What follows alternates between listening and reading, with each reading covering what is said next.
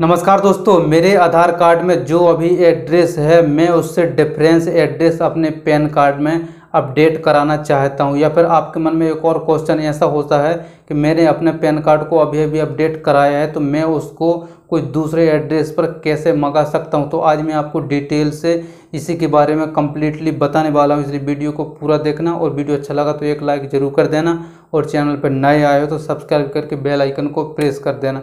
चलिए आज का वीडियो स्टार्ट करते हैं। तो देखिए दोस्तों, जब भी आप अपने पैन कार्ड में किसी प्रकार का कोई भी करेक्शन कराते हो या फिर इस पैन कार्ड में किसी प्रकार का कोई भी अपडेट कराते हो तो आप यहाँ पर तीन तरीके से करा सकते हो। पहला तो ये है कि आधार कार्ड थ्रू, ई के वाई सी के थ्रू, जिस पे आपको ना तो किसी को अपने डॉक्यूमेंट्स सेंड करने की ज़रूरत होती है और ना ही वहाँ पर अपलोड करने की ज़रूरत होती है। और जो दूसरा ऑप्शन होता है, यहाँ पर आपको फिजिकली अपने डॉक्यूमेंट्स वहाँ पर अपलोड करना पड़ता है।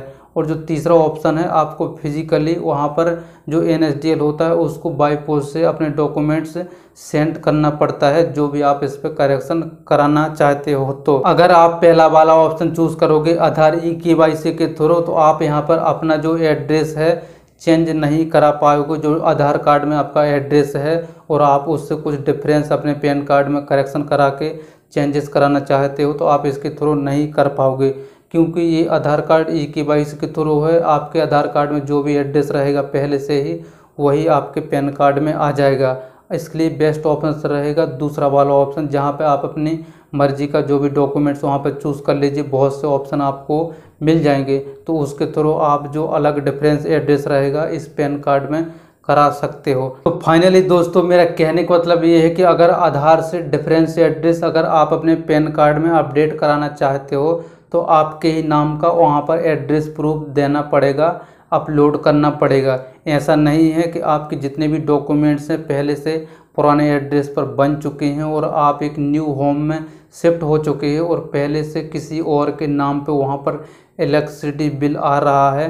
तो अगर आपके मन में ऐसा क्वेश्चन है कि मैं उस इलेक्ट्रिसिटी बिल के थ्रू अपना एड्रेस यहाँ पर अपडेट करा लूँ तो आप यहाँ पर नहीं करा सकते। आपको ही अपने नेम का नया वाला इलेक्ट्रिसिटी बिल वहाँ पर अपलोड करना पड़ेगा जिस पे एज ए आपका वहाँ पर नाम होना चाहिए। तभी आपका जो न्यू एड्रेस है, इस पैन कार्ड में अपडेट हो जाएगा। यही एक छोटी सी प्रोसेस तो इस प्रकार से आप अपने पैन कार्ड में न्यू एड्रेस अपडेट करा सकते हो, या फिर आपने करेक्शन कराया है तो न्यू एड्रेस पर आप इसको बाई पोस्ट से मंगा सकते हो। मैंने आपको कम्प्लीटली प्रोसेस बता दिया।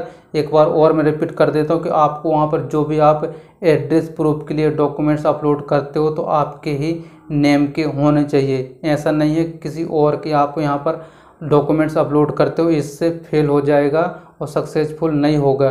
तो आपको अपने ही नाम को वहाँ पर कोई भी एड्रेस प्रूफ देना पड़ेगा। और अगर आपके मन में अभी भी किसी प्रकार का एड्रेस से रिलेटेड कोई क्वेश्चन है तो कमेंट सेक्शन में मुझे ज़रूर लिख के पूछ लेना। चलिए मिलते हैं नेक्स्ट वीडियो में, तब तक के लिए बहुत बहुत धन्यवाद।